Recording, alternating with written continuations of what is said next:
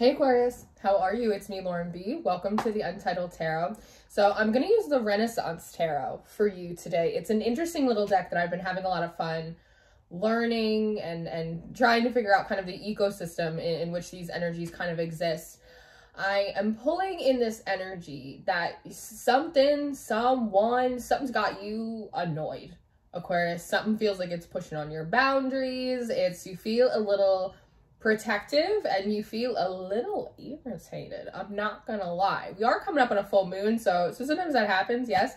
But I'm sitting at my desk and I'm noticing that there's pollen flying in through my window.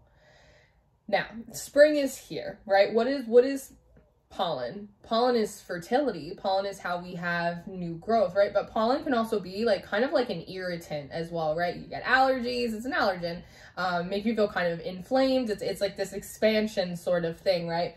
And it really got me thinking about all of the other times in our life where we go through periods of um, like rapid or significant growth, right? Think about puberty puberty you were growing into kind of your your form right? But it's very painful. It's really uncomfortable right? I remember going through puberty and like crying because like my body hurts so much.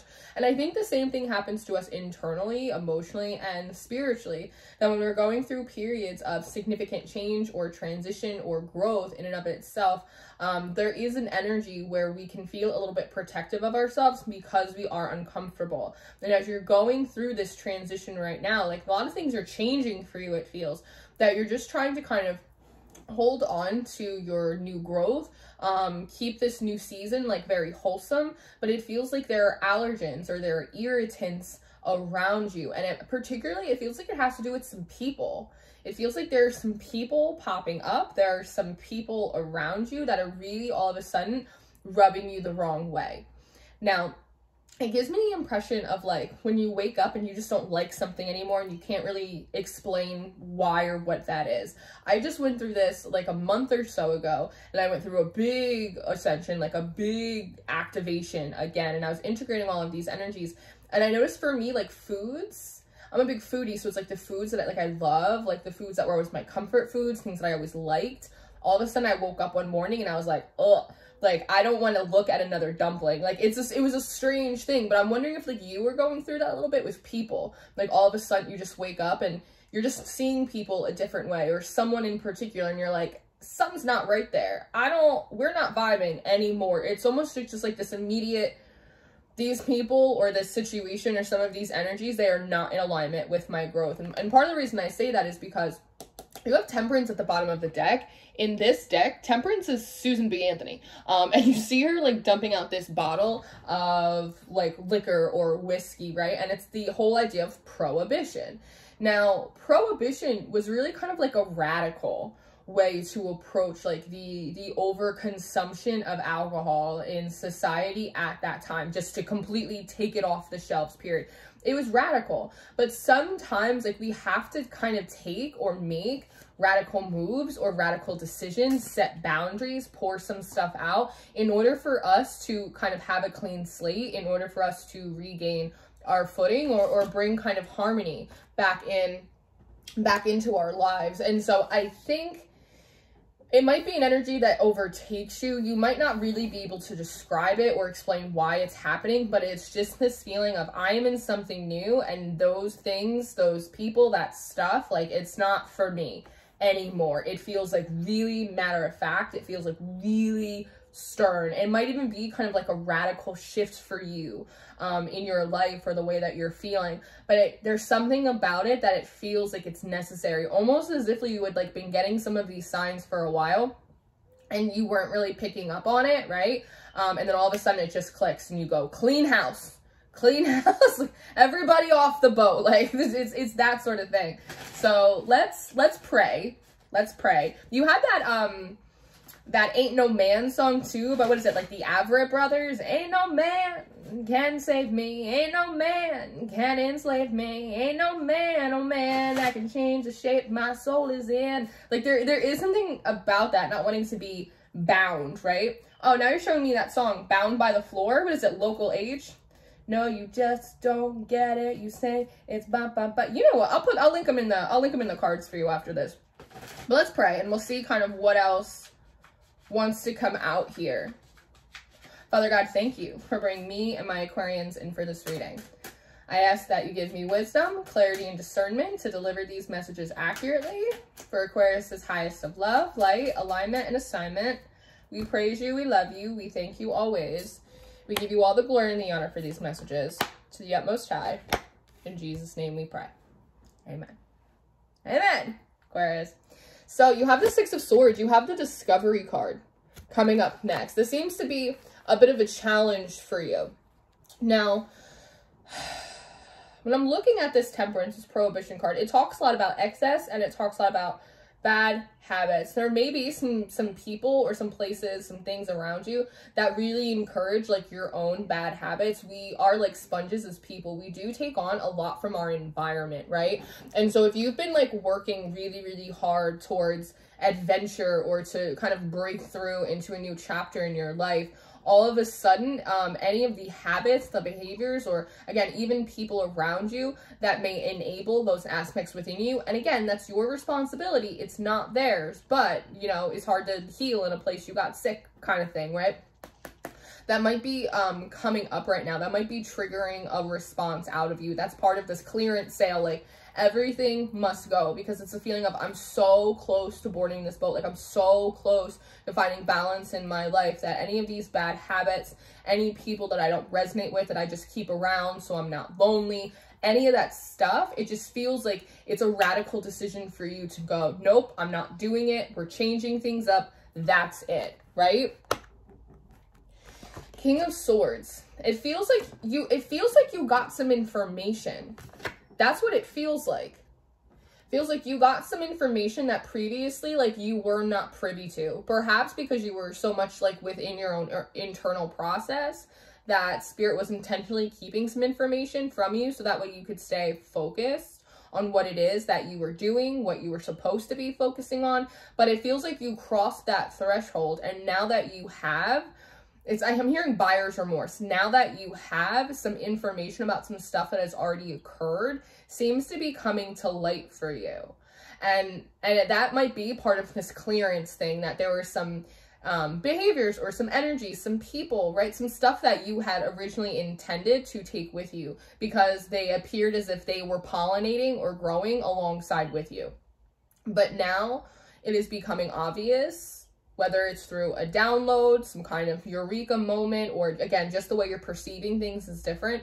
It's becoming obvious that the things that originally you thought were pollinators are actually allergens. And you, and part of this,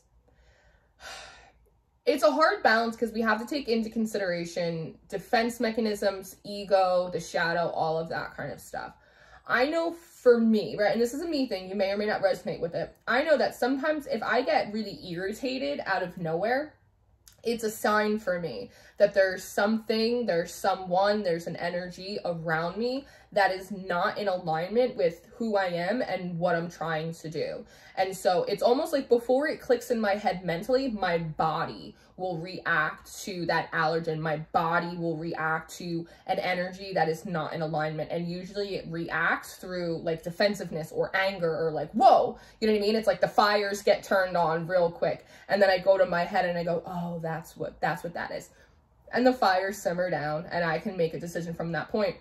So I'm just wondering if there's something similar that you were going through that like your body, your instincts, your perception, like all of a sudden it's like, whoa, I don't like that. Whoa, that's not going to work for me. Whoa, I didn't notice that about that person before. It just comes in, right? And so all of a sudden it's like before you get on this ship, you have to do like this mad dash to start pruning um, or to start kind of picking some things out that previously like you hadn't noticed in the past the ace of coins is coming out and so again there seems to be like this opportunity.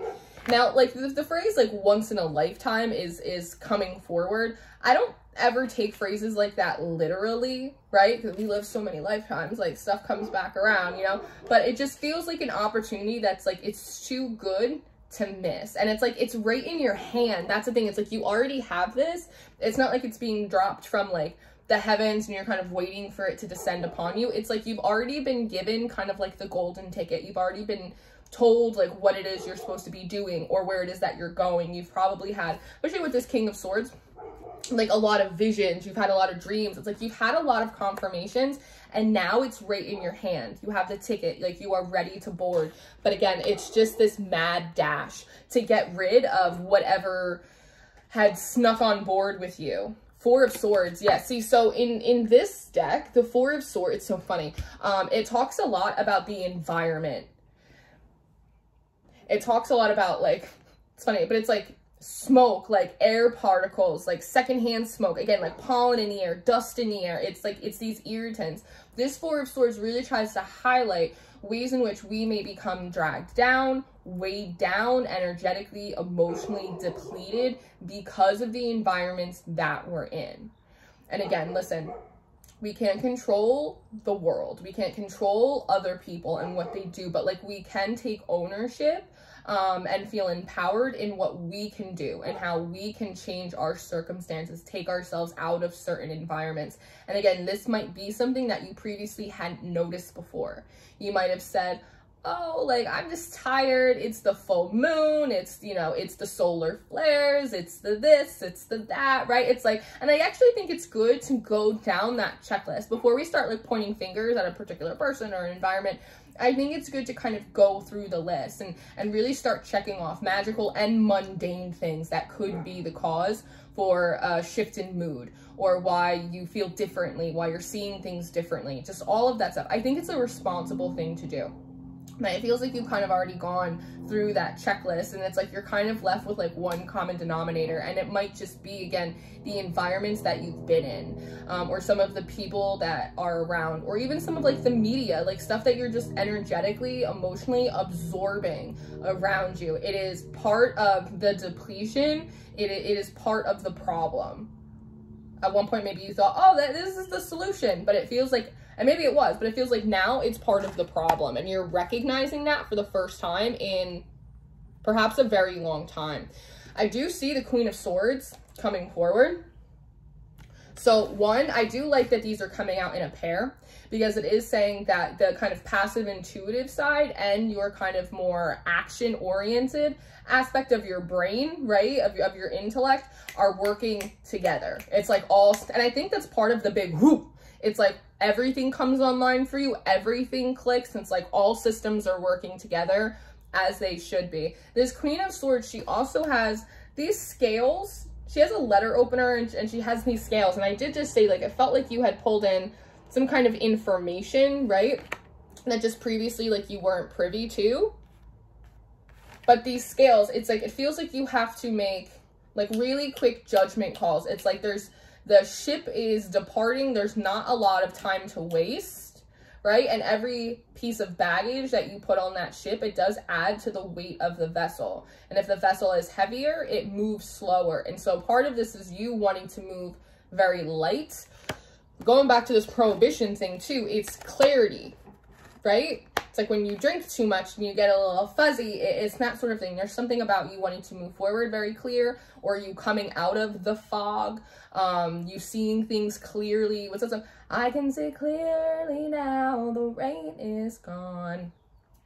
Um, some, some of you are asking me, how do I know if it's the environment or how do I know if it's these people? Well, uh, I would say notice how you feel when you're not around those people and those environments. When you're kind of where you're supposed to be or when you're with um, people or in places that are um, equal, that are in alignment with you, you'll find that they, you'll feel more energized after you get out of those conversations or out of those places. Or at the very least, like the impact of that experience or those conversations will be neutral if you find yourself leaving conversations and you feel really depleted, that's a sign that like those people, you, you just might not be on the same frequency. And sometimes it's not a good or a bad thing. It, it's just a different type of thing, right? If you're not sure we'll spend a couple days away from those people or that environment and see how you feel. Do you feel better? Well, if you feel better, then that might be a sign that yes, like there's something about that situation, that place, or those people that are draining to you. And so it feels like you have to make like these really quick decisions. There's something about contracts that's also coming through with these Queen of Swords. Like you might have previously agreed to do some things with some people, work on some plans, projects, whatever it is. And really quickly, you might just have this really strong instinct that all of a sudden that's not what you're supposed to be doing. That's not the best decision for you, right? Um, and so some of you might have to try and see if you can kind of finagle your way out of some of these contracts or agreements, whether they're like on a high or a legal level, or whether they were just verbal agreements. Yeah, we'll go do this. Yeah, yeah, yeah. There's something, there's something about that that you might have to kind of like renege on a few agreements, obligations, plans that previously had got set into motion. That's part of the feeling of it being really kind of radical.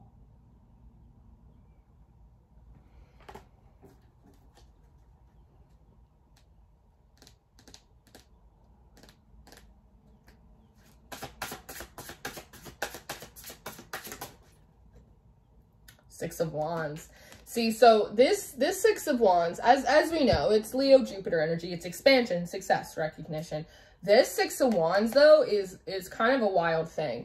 So you see this tombstone right here? The story about this Six of Wands is that this woman was in a relationship that was unhealthy. It was a relationship that she really shouldn't have been in.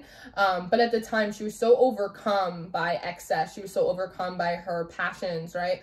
Um, that just that connection, that attachment to that person that she didn't have any mobility. She didn't have room to move. And eventually, like, there were a lot of really unfortunate things that she had to go through. Yes. Um, and what this six of wands here is, is that those, that person had, had transitioned, they had passed. And so she was free of these attachments. She was free of those things. She was free of those people, those situations. And thus, she is celebrating the fact that she's free now to start a new life. To she ends up finding someone else, getting married to someone else, having like a really gorgeous life, right? But again, there's something that was kind of radical that had to happen in order to separate her from what was toxic or what was unhealthy or codependent what was weighing her down or holding her back. I don't think that like anything as dramatic as death and misfortune is going to happen here. I think they're just really trying to highlight that it's like an aspect of divine intervention. I think the divine intervention for you, Aquarius, is just coming in with the piece of information or the revelation. Again, those dots clicking for you of, oh, that's what it is. That's what they've been trying to tell me. That's what I wasn't getting. Absolutely, yes. Like, I cannot do that anymore. I have to create some changes. But it feels like the radical thing about it is not what the divine does because they're just bringing you in truth and clarity. The radical thing is how you're responding to it. You overall, like you are a pretty balanced energy, you know what I mean? I don't see Aquarians as being particularly impulsive people. You're you're an air sign. You tend to you tend to look before you leap. You think before you speak. But again, something just clicks off in you and then you make a radical decision, a radical departure, a radical severance. It, there is something about that, again, prohibition, that you had to make a radical sweep in order to maintain or protect like your new spring, your new season, um, even this level of wholesomeness that you have come into. Five of coins. Mm. This could even be like with mindsets or certain groups or communities that you're a part of. So when we're looking at this five of coins, we see like one white dude at the top of this mountain and he's preaching to all of these people down here. And it's this idea. The five of cups talks about loss, right? And here it really talks about a loss of community. It talks about a loss of culture. It talks about a loss of history. Um, it talks about a, lo a, a loss that is bigger than money, a loss of self, a loss of agency and how sometimes we don't realize that there can be one person, there can be one voice that elevates itself and it speaks over us and it tells us what we should or should not be doing. It tries to erase our history. It tries to erase our culture. It tries to steal these deep knowings that we have inside from us. And part of this Queen of Swords is that radical shift. You know, in many ways, Susan B. Anthony, she, she was kind of a political radical um, at the time, right, with women's suffrage and, and prohibition and, and all of that kind of stuff, right? And she had her own flaws, but still, um, she didn't let anyone speak over her. She reclaimed that for herself. And so in, in some ways, this may be what is going on in the environment, Aquarius, that there just may be, again, people, places, and things that are elevating themselves as being like, um, they, they know it all. They know it all. And you may have gone along with that for a long time, only to wake up one day and go, this person's full of shit. This person has no idea what they're talking about. You may have even, with that contracting, you may have even like signed up for like some of their stuff. You know what I mean? It's like you drunk some of their Kool-Aid and then one day you realize that Kool-Aid has arsenic in it. I'm taking off these Nikes and I'm getting out of Dodge. And that's radical for you because you already seemed engrossed in these projects or in these relationships or in this stuff. And then all of a sudden you go, no more. You can't touch. You can't touch this. I have to go. We have to go. Anything else? Oh, that was fast. That's fast. It's, it's, the, it's the Knight of Wands. It's a fast card with a fast character right here. Yeah, there is this big energy of like reclamation coming in, reclaiming your power, reclaiming your ability to say no. Also, there's something coming in about your ability to notice that something is wrong or off without gaslighting yourself into thinking it's just your ego. It's the idea of like playing devil's advocate too much, Aquarius. It's like you look at something and it just feels wrong, like you just don't like it, but then you you talk yourself out of it. You go, well, it's just my ego, it's just my shadow. Maybe I'm jealous, like, you know, maybe I have to I have to hold space for other people's opinions. Like maybe they know. It's like all of this, but well, maybe, huh? And meanwhile, it doesn't change the fact that whatever's going on around you or whatever you're now kind of seeing very clearly in the environment or with some people, it just rings to you as wrong and that instincts, it doesn't need an explanation. It doesn't need a lot of proof, right? And so I think that moving forward, I think that your instincts are going to start moving real quickly. They're coming, they're going to come in a lot faster. They're going to come in a lot clearer. They're going to come in a lot stronger. And I think moving forward, you're not going to talk yourself out of what your basic instincts are telling you. Does that make sense? I hope that makes sense. Because again, to reiterate from earlier, it just feels like there were Easter eggs for this. Again, this is not the right group for you. The way this is going on is not the right thing for you, right? But you were just kind of, ah, well, what do I know? It's that sort of thing. You know a lot more than you're giving yourself credit for. And I think that for you, you have this uh, an energy that's very pragmatic right now. It's like I could have saved myself some time, um, some effort. I, I wouldn't have to be at the last moment in this mad dash trying to untie myself from people, places, and things, mindsets, groups, just shit, right? That does is not for me. That's not supposed to be going where I am going. That's not the right direction. It just feels like you're doing a little bit of scrambling right now. Like again, it's uh, it's like when you don't expect company to come over there's like, I'm right down the street. And so you're just running around the house trying to wipe down the counters, right? It's like, but had you listened to your instinct that, that had said, I think someone's going to stop by today, you'd already be ready. I think that's kind of what it is. So moving forward, I think when these instincts come up for you, I don't think you're going to talk yourself out of them. I don't think you're going to gaslight yourself into saying, oh, it's ego and I'm being judgmental. I think you're just going to go, that doesn't feel right and so I'm not going to do that. I'm not going to go there. I'm not going to participate in that. I do not receive that, right? And that leaves you light. That leaves you in alignment with yourself. That allows you to respect and trust the connection and the messages that are coming in for you. And just like this missionary of wands, you're going to be able to move a lot quicker, like lightning, because you're not going to be weighed down by all of this other stuff. And the last card in your spread, the priestess. So, you know, it's not our normal reading Aquarius, but it's also not wrong. it's also not wrong. This is Emily Dickinson. And kind of the moral of her story is she, you know, she wrote about a lot of things that she didn't see in person. But she didn't have to. She didn't have to see how all of those situations, those personalities, how those scenes played out because she just knew it. She knew it through her instinct, how that felt what was going on. It's incredibly intuitive. You read all of her poetry. It's basically, it's like, it's channeled, half of it. And that's the thing that you don't have to see it to see it. Oh, I was just called you. Oh, I just called you Sagittarius. That's interesting. You don't have to. You take that for what you will. You don't have to see it to know it, right? Um, and sometimes it's better not to let life prove it to you or let people prove your first instinct about it to you. And so again, I think moving forward, you're going to trust your instincts. I think you're going to honor the messages that come forward from the divine a lot quicker. Um, and I think that's going to allow you to move through this next season um, much faster because you're not going to be so way down. You're not going to be doubting yourself. Um, and the guidance that comes in for you, you're not going to get it confused or convoluted. So all in all, it's really good stuff. You still have this this ace in your hand, you are still moving forward. You're making a couple radical shifts and you're having a few personal revelations, but all in all, it's stuff that had to get had to get cleaned out anyway. So it's all in a day's work, Aquarius, all in a day's work. So this is what I have for you. I am going to go do an extended reading. If you're interested in your extended reading or your monthly reading for March, those links will be in the description box for you. Um, if you're interested in a personal reading or intuitive coaching, you can book with me through my website. And I always encourage you guys to check out Patreon for all of the extendeds, all of the monthlies, and our mystery school. I love you so much, and I will see you next time. Goodbye.